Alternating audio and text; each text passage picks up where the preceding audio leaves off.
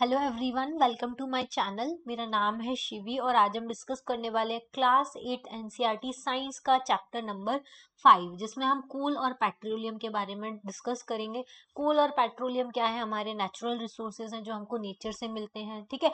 तो इसका क्या क्या यूसेज है? ये हमको कैसे अर्थ से मिलते हैं?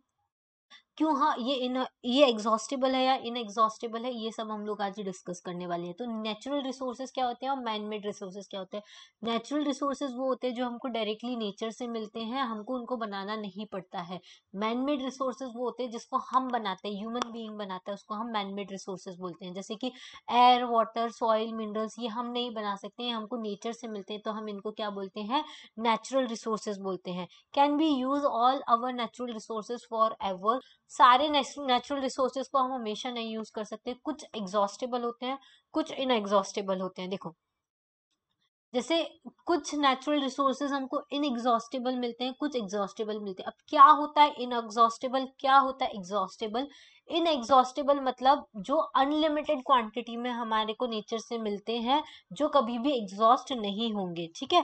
तो कोई भी ह्यूमन एक्टिविटी से ये कभी भी एग्जॉस्ट नहीं होंगे तो हम इनको बोलते हैं इन एग्जॉस्टेबल नेचुरल रिसोर्सेज जैसे कि सनलाइट और एयर हम कुछ भी करें सनलाइट कभी बंद नहीं होगी एयर फ्लो ना कभी बंद नहीं होगा, इस वजह से ये इन एग्जॉस्टेबल होते हैं और इनका यूज़ इसलिए हम सोलर एनर्जी और विंड एनर्जी में करते हैं कि प्रोडक्शन में किया जाता है.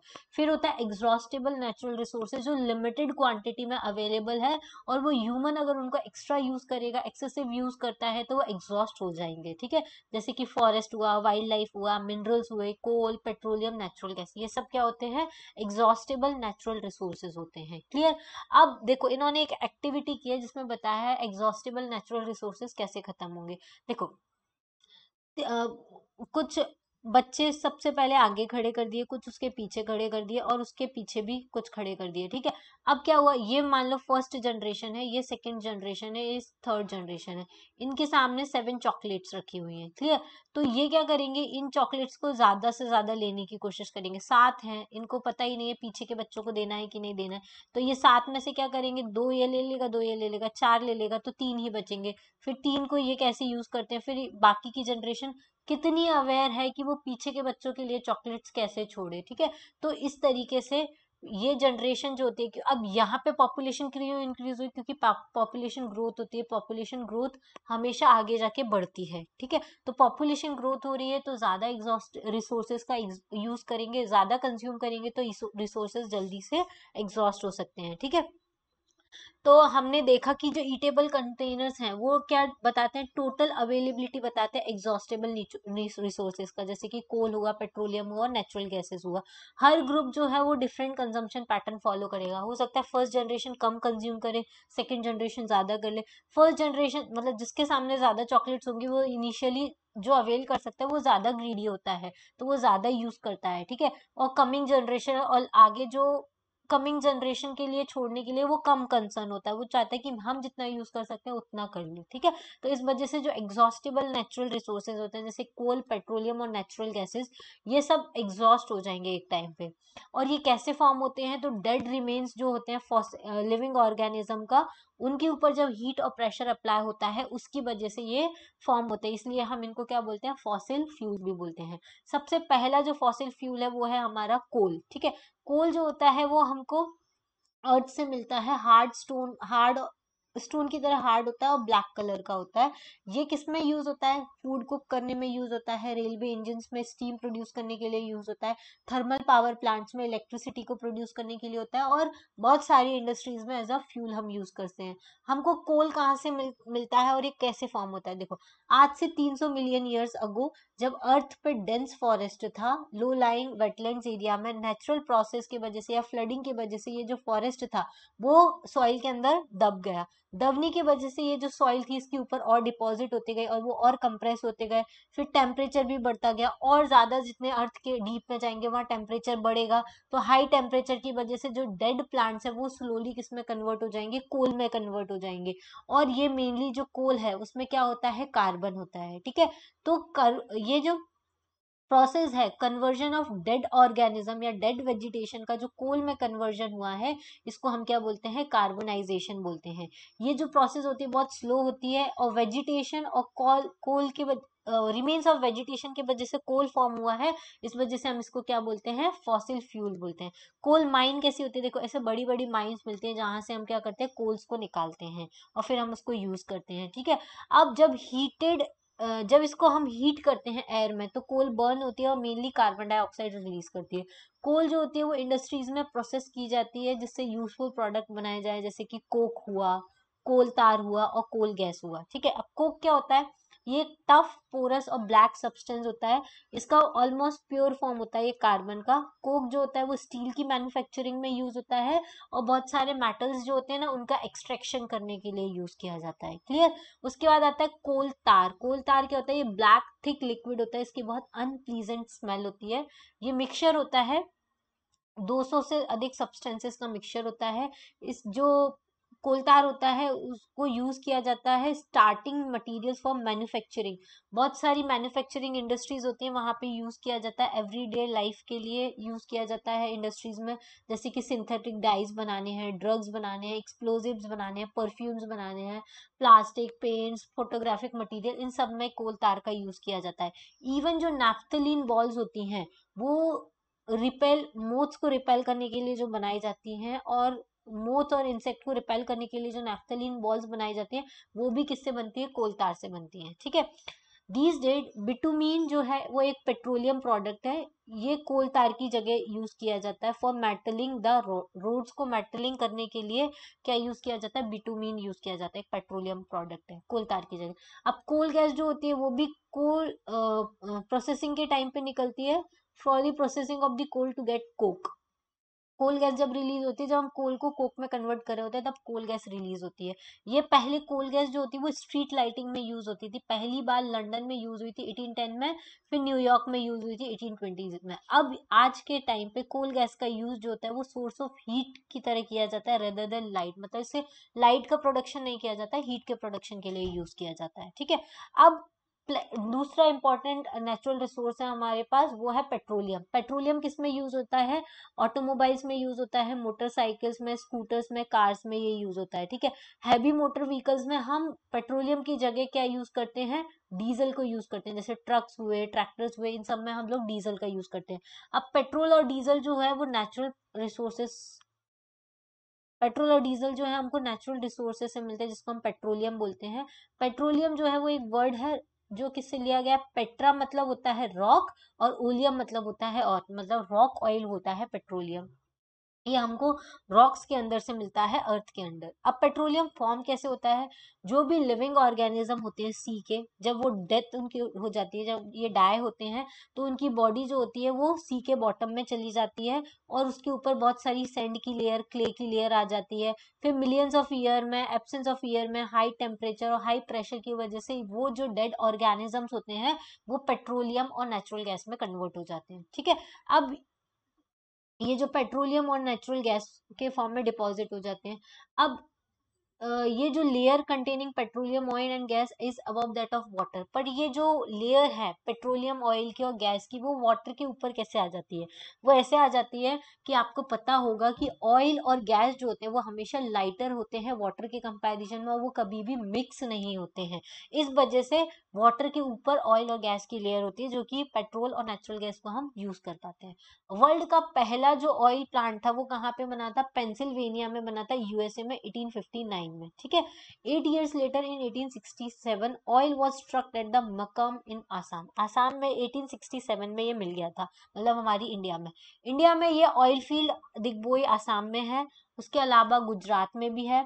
मुंबई हाई में भी है और उसके अलावा खुद कृष्णा गोदावरी के जी बेसिन भी बोलते हैं। वहाँ पर भी आपको क्या मिलता है? पेट्रोलियम और ऑयल के रिज़र्व आपको देखने को मिलते हैं। अब ये जो पेट्रोलियम होता है वो डार्क ऑयली लिक्विड होता है। इसकी हम क्या करेंगे? रिफाइनिंग करेंगे, ठीक है?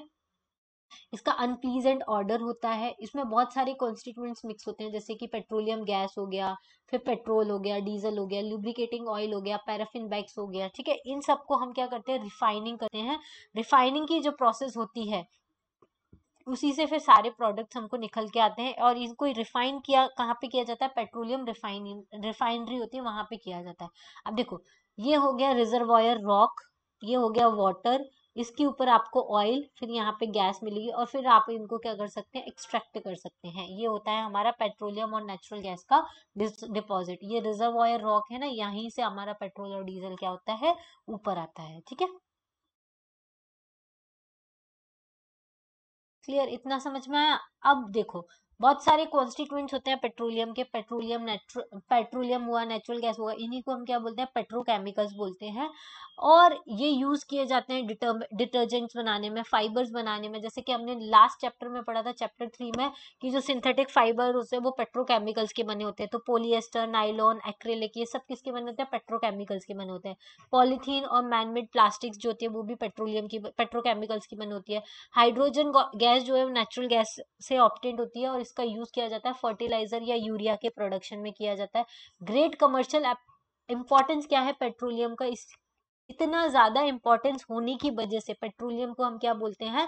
ब्लैक गोल्ड भी बोला जाता है, ठीक है? अ थर्ड इंपॉर्टेंट जो हमारा नेचुरल रिसोर्सेज है, वो है नेचुरल गैस ये बहुत इंपॉर्टेंट फॉसिल फ्यूल है, क्योंकि इसका इसको इजी टू ट्रांसपोर्ट है। मतलब इजीली इसको ट्रांसपोर्ट कर सकते हैं, हम पाइप के थ्रू स्टोर्ड कर सकते हैं under high pressure as compressed natural gas मतलब इसको कंप्रेस करके लिक्विड में चेंज करके कंप्रेस्ड नेचुरल गैस के फॉर्म में हम स्टोर कर सकते हैं और ये पावर जनरेशन के काम में भी आती है। ठीक है, देखो पावर गैस पेट्रोलियम गैस जो लिक्विड फॉर्म में होती है, उसको हम क्या बोलते हैं? लिक्विड पेट्रोलियम गैस एलपीजी और ये होम और इंडस्ट्री में फ्यूल की तरह काम होती है। पेट्रोल मोटर फ्यूल्स की तरह काम होता है। कैरोसिन स्टोव्स, लैम्प्स में यूज़ होता है। डीजल, हैवी मोटर्स में यूज़ होता है। लिब्रिकेटिंग और लिब्रिकेशन में यूज़ होता है। पैराफिन बैग्स जो होता है, ऑइंटमेंट, कैंडल्स, वेसलिन में यूज़ होता है। बिटूमेन जो होता है, वो पेंट्स, रोड सरफेसिंग में यूज़ होता है। क्लियर? उसके बाद देखिए जो सीएनजी का यूज़ हम करते हैं, वो ट्रांसपोर्ट व्हीकल्स में भी यूज़ करने लग गए हैं। क्यों? क्योंकि ये लेस पोल्यूटिंग होती है और ये क्लीनर फ्यूल है। इसके वजह से एयर पोल्यूशन कम होता है।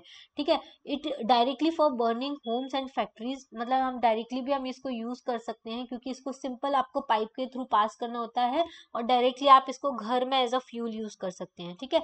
ये ऐसी जो पाइपलाइंस है, वो बडोदरा, गुजरात में एग्जिस्ट करती है, दिल्ली में भी आती हैं और कुछ अदर प्लेसेस पे भी बनाई गई है। ठीक है? नेचुरल गैस जो है, वो स्टार्टिंग मटीरियल मटेरियल होता है manufacture of number of chemicals of fertiliser जो बहुत सारे केमिकल और फर्टिलाइज़र इंडस्ट्रीज़ होती हैं, वहाँ पे नेचुरल गैस को यूज़ किया जाता है। इंडिया में बहुत बड़ा वास्ट रिज़र्व है नेचुरल गैस का। कहाँ कहाँ मिलता है? त्रिपुरा में मिलता है, राजस्थान में मिलता है, महाराष्ट्र में मिलता है और कृष्णा गोदावरी डेल्टा में मिलता है। क्या? देखो, ये क्वेश्चन क्या पूछ रहा है? कोल पेट्रोलियम और नेचुरल गैस को हम घर में या लेबोरेटरी में प्रिपेयर कर सकते हैं, डेड ऑर्गेनिज्म से नहीं कर सकते। क्यों? क्योंकि इसके ऊपर अर्थ का हीट टेम्परेचर प्रेशर वो सब हम हम लेबोरेटरी में क्रिएट नहीं कर सकते हैं। इस वजह से हम इसको लेबोरेटरी में प्रिपेयर नहीं कर सकते तो हमको इनका क्या करना है? सिर्फ़ इनको बचाने के लिए हमको लिमिटेड यूज़ करना है जुडिशियसली यूज़ करना है तो ही हम इनको अपनी फ्यूचर जनरेशन के लिए बचा सकते हैं। अदरवाइज़ ये एग्जॉस्ट हो जाएँगे, क्योंकि ये एग्जॉस्टेबल होते हैं, जितना अवेलेबल है, उतना ही हम यूज़ कर सकते हैं, ठीक है? तो कोल एंड पेट्रोलियम क्या है? फॉसिल फ्यूल्स हैं। डेड ऑर्गेनिज्म के मिलियंस ऑफ़ ईयर्स तक कन्वर्ट होने की वजह से ये हमको मिलते हैं। ये नॉन रिज़र्व जो है, वो सिर्फ़ फ्यू हंड्रेड ईयर्स तक ही बचे हैं हमारे पास और बर्निंग करने पर। ये जो फॉसिल फ्यूल्स है, इनकी बर्निंग करने से के वजह से एयर पोल्यूशन बहुत ज़्यादा होता है, जिसकी वजह से ग्लोबल वार्मिंग बढ़ती है। ये जो फ्यूल्स फ्यूल्स होते हैं, वो absolutely it is there for necessary that be use these fuels only when absolute necessary जब हमको बहुत ज़रूरत है, तभी आप इन फ्यूल्स का यूज़ करें। अगर आप इनका कम यूज़ करेंगे तो आपके एनवायरमेंट को क्लीन रखने में हेल्प करेंगे, और ग्लोबल वार्मिंग की रिस्क को कम करेंगे, और इसकी अवेलेबिलिटी जो है वो लॉन्गर पीरियड ऑफ़ टाइम तक रहेगी। इंडिया में एक अथॉरिटी है जिसको हम बोलते हैं petroleum conservation research association PCRA इन्होंने एडवाइस किया है कि कैसे आप पेट्रोल और डीजल को सेव कर सकते हैं जब आप ड्राइव करें। ठीक है? अगर आप ड्राइविंग कर रहे हैं तो आप कांस्टेंट स्पीड पर और मॉडरेट स्पीड पर ड्राइव करें तो इससे आपका फ्यूल कम कंज्यूम होगा। इंजन और को स्विच ऑफ़ कर दे जब ट्रैफ़िक लाइट्स ऑफ़ हैं तो उससे भी आपका फ्यूल कंज्यूम होगा। करेक्ट टायर प्रेशर को यूज़ करें और रेगुलर मेंटेनेंस करें व्हीकल का तो आप क्या कर सकते हैं, अपने फ्यूल को कंज्यूम होने से बचा सकते हैं। इसके अलावा देखिए, आप कीवर्ड्स देख सकते हैं, कोल क्या होता है, कोल गैस क्या होता है, कोल तार क्या होता है, ये तीनों हमको कोल से मिलते हैं, कोक भी हमको कोल से मिलती है। फॉसिल फ्यूल्स जो डेड ऑर्गेनिज्म से बने होते हैं, नेचुरल गैस हमको कहाँ से मिलती है? पेट्रोलियम के एक्सट्रैक्शन से मिलती है। पेट्रोलियम क्या होता है? तो पेट्रो मतलब रॉक ऑयल होता है ये। पेट्रोलियम रिफाइनरी में हम रिफाइन करके मल्टीपल प्रोडक्ट्स को निकाल सकते हैं। अब ये आप मेनली देखिए coal petroleum and natural gas क्या होते हैं? फॉसिल फ्यूल्स होते हैं। फॉसिल फ्यूल किससे मिलते हैं? डेड रिमेन से मिलते हैं। फॉसिल फ्यूल्स कैसे होते हैं? एग्जॉस्टेबल होते हैं। Coke coal tar coal gas product होते हैं कोल के। Petroleum gas petrol diesel kerosene paraffin bags lubricating oil ये सब रिफाइनिंग पेट्रोलियम से मिलता है रिफाइनिंग करके मिलता है।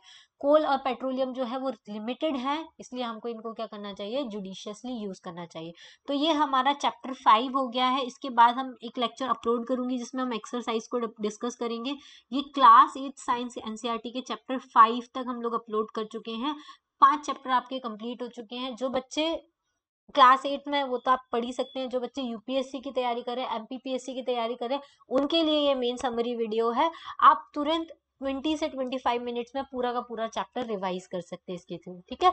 आज के लिए इतना ही। Thanks you thanks for watching and have a nice day और एक और इन्फॉर्मेशन मैं आपको देना चाहूँगी, अगर आपको ज्योग्राफी की एनसीईआरटी फॉलो करनी है class six class seven class eight class nine NCERT geography भी मैंने बनाया हुआ है।